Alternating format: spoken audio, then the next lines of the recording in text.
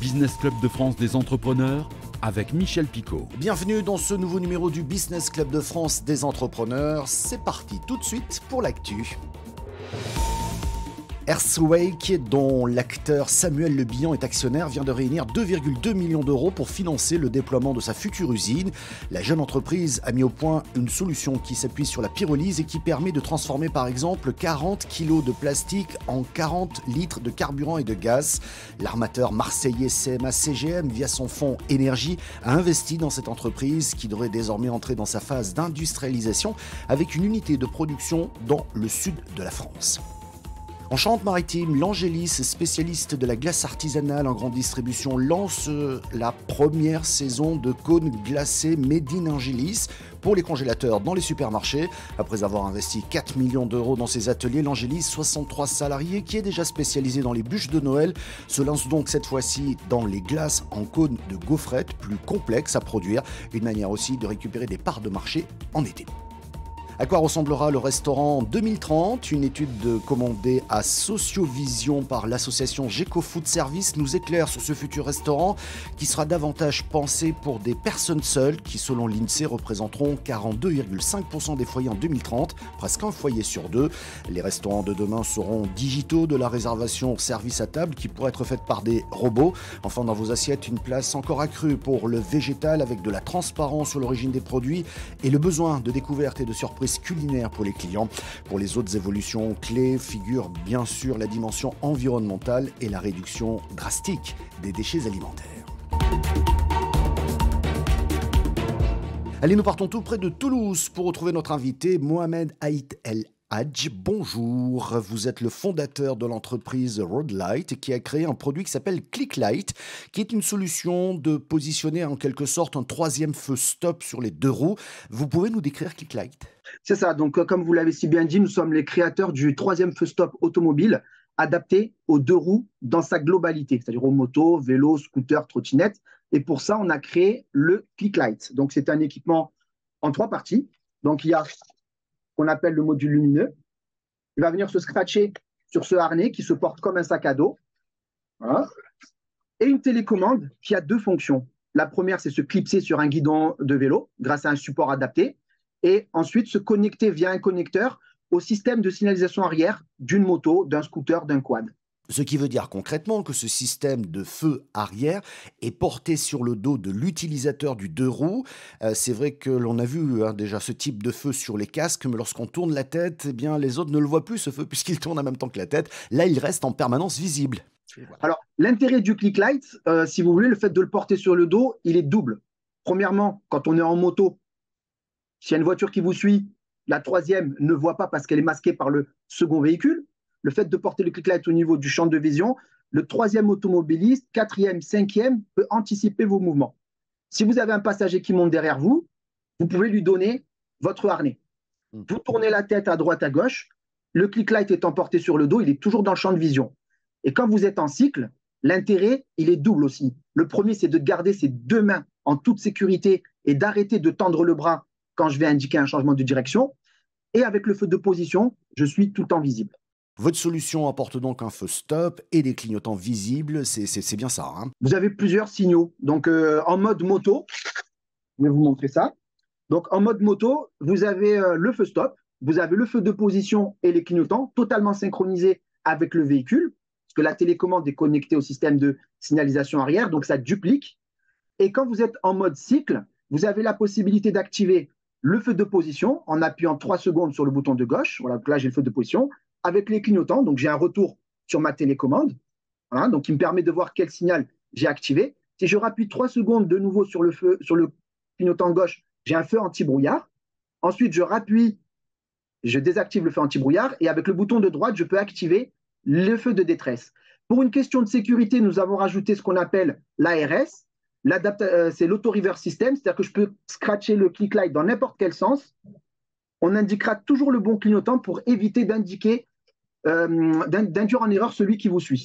Donc cette solution se branche sur le système électrique de la moto et pour les vélos, euh, pour le cycliste, eh bien là c'est une télécommande qu'il a au niveau du, guidon. C'est ça. Donc en fait, Clicklight est le seul équipement universel au monde qui peut fonctionner avec une trottinette, moto, vélo, scooter, quad, monoroue et j'en passe. Et en fait, il faut, pour les motos, vu que le système de signalisation est à 20, 30 cm, voire 80 cm du sol, il est très peu visible, voire pas du tout dans certains cas. En fait, il faut se référer à une étude qui a été réalisée aux États-Unis qui a duré 10 ans, celle de l'ajout du troisième feu stop à hauteur du champ de vision.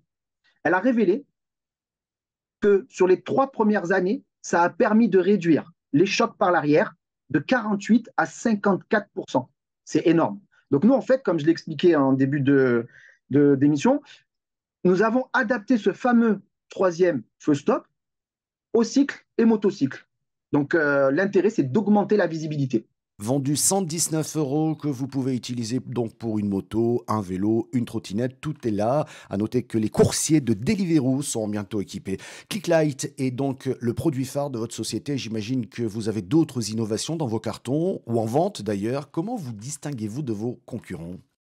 Nous, en fait, nous avons euh, plusieurs brevets et euh, chaque année, nous avons la possibilité de mettre sur le marché un tout nouveau produit qui a du sens. Je vais donner à titre d'exemple la prochaine euh, innovation qu'on va sortir. Donc, c'est la visibilité par l'avant. Donc, ça va être un petit boîtier qui va venir se clipser sur les sangles à l'avant, muni d'une LED orange et d'une LED blanche. La LED blanche, ça sera pour être vue et non pas pour voir. Par contre, la LED orange, elle sera connectée à un des deux clignotants et vous pourrez indiquer vos changements de direction en étant visible de derrière et de devant. D'autres innovations en cours? Bien sûr, comme je vous l'ai dit, dans, nos cartons, nous, nous avons plus d'une dizaine d'innovations. On peut sortir un produit chaque année pendant 10 ans pour se démarquer de la concurrence. Et euh, surtout, nous voulons attaquer aussi à une autre problématique, c'est celle euh, des, euh, des vélos et des trottinettes en libre service. Donc, rappelons-le, aujourd'hui, il n'y a rien pour se sécuriser. Comme je l'ai expliqué, sauf si vous avez de la chance, vous avez une boutique qui fait de la location de, de casques et d'équipements de, de sécurité, ou alors vous partez de chez vous en vous trimballant le casque toute la journée, ce qui est un gros inconvénient. Donc pour cela, nous, nous allons développer des distributeurs d'équipements en libre service et qui va faire coup double. Un, euh, pouvoir permettre à l'utilisateur de la trottinette ou du vélo en libre service de s'équiper et de rouler en toute sécurité du point A au point B.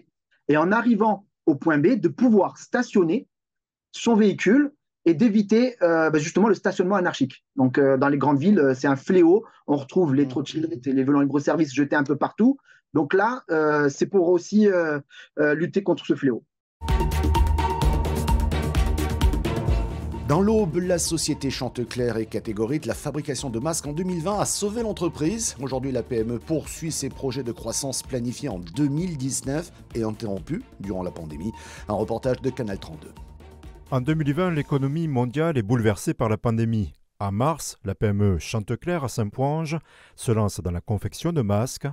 Durant près de six mois, ce spécialiste de la maille assemble plus de 20 000 pièces par mois. La période de masque, avec un peu de recul, nous a permis de rester en vie. On se serait arrêté en mars pendant une période de six mois.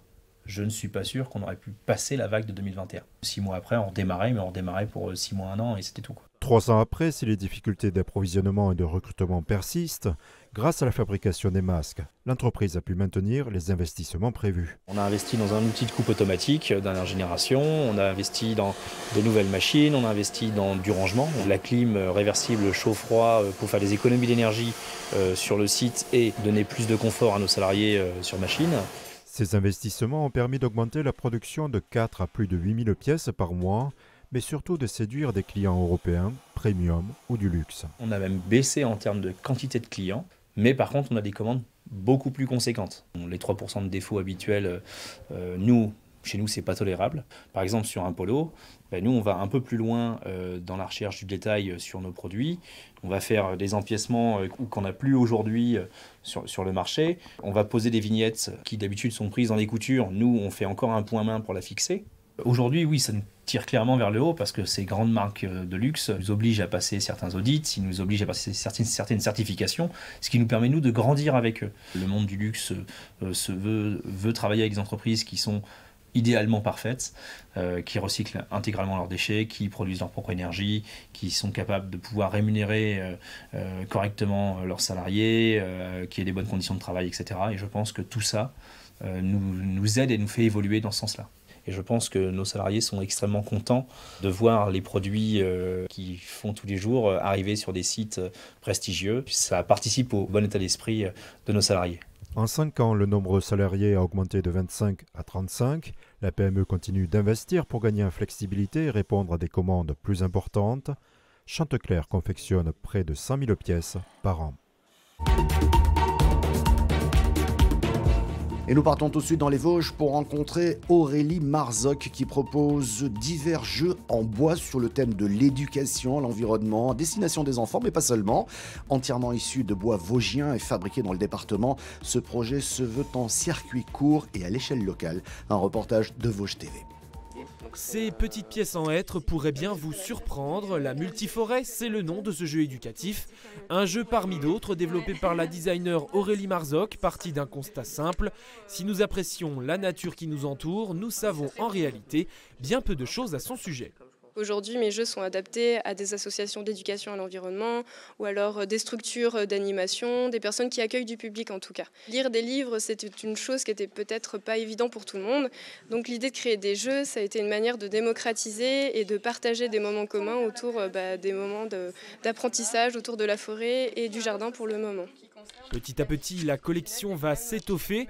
Mercredi matin au Xylolab d'Épinal, quelques curieux s'essayaient à ce jeu sur le thème des saisons et de la forêt on n'a pas tous accès à la forêt et justement ça peut être une manière d'apprendre euh, avec euh, les enfants mais même entre adultes parce que bah, si on habite en ville et qu'on ne connaît pas forcément euh, bah, à quelle période le, cerf il, brame justement par exemple bah, ça peut être sympa de, bah, de découvrir plein de choses au sujet de la forêt.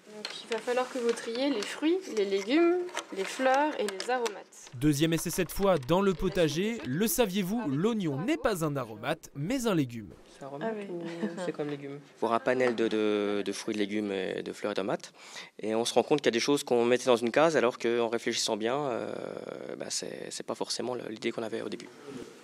Le plateau et les pièces sont en hêtre massif des Vosges, transformés dans le département, tout comme la boîte. Une démarche de circuit court voulue par la créatrice. J'apprécie énormément de travailler avec des personnes euh, qui sont juste à côté de chez moi. Donc euh, être au contact des, créateurs, des fabricants, c'est vraiment pour moi des valeurs que, je veux créer et impliquer dans mes jeux en fait. Une plus-value locale qui a un coût, compté entre 70 et 120 euros la boîte de jeu, mais qui a déjà ses acheteurs, notamment des collectivités dans le Grand Est ou encore en Ile-de-France. Le projet débuté il y a 4 ans va continuer à se développer avec une nouveauté à venir au catalogue, un jeu sur le thème de l'environnement dans la ville d'Épinal. Merci de votre fidélité. Vous pouvez retrouver cette émission en podcast vidéo sur le site de votre télévision locale. Nous sommes également diffusés en podcast audio sur toutes les bonnes plateformes. Et merci également aux différentes radios qui diffusent cette émission. À la semaine prochaine.